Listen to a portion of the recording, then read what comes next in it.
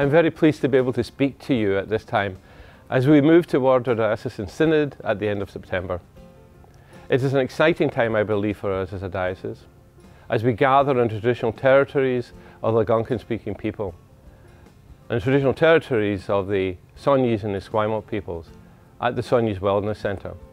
I believe it's appropriate for us to be gathering at the Wellness Centre because we have done a lot of work over the last couple of years within the life of the diocese to bring wellness and wholeness to the diocese. We have focused on, from the last synod, on those issues that were raised, the pain, the grief, the loss within the life of the diocese, around about parishes being disestablished and the loss of Camp Columbia. So at the regional levels, at parish levels and at a diocesan level, we have worked to bring healing and reconciliation among ourselves. I thank everybody for that work and for that leadership as we have met and we have prayed and we have anointed each other on this journey. So to meet together at this time, we focus on the future and how we continue to make the vision a reality in the life of our parishes and in the diocese as a whole. The focus on Synod will be Transforming Futures, which will be a financial initiative that we believe as a diocese, under the direction of Diocesan Council, that we need at this time. We'll be looking at raising over a five-year period $7 million within the life of the diocese as an initiative to build upon the work that has been done in the diocese through the Vision Fund.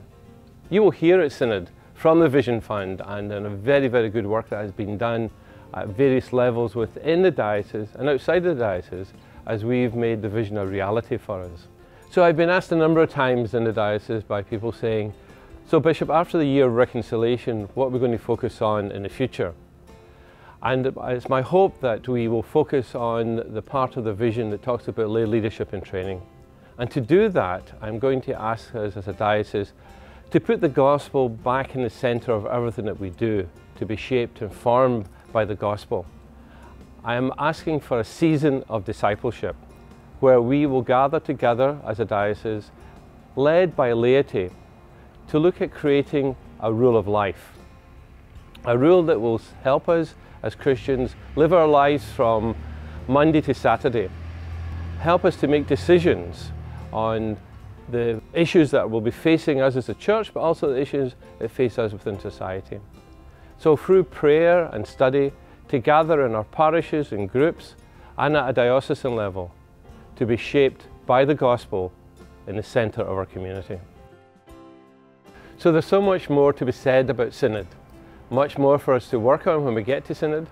My hope is that you will continue to prepare for Synod, to meet together, to talk together, to learn together as we move towards Synod at the end of this month. Looking forward to seeing you there.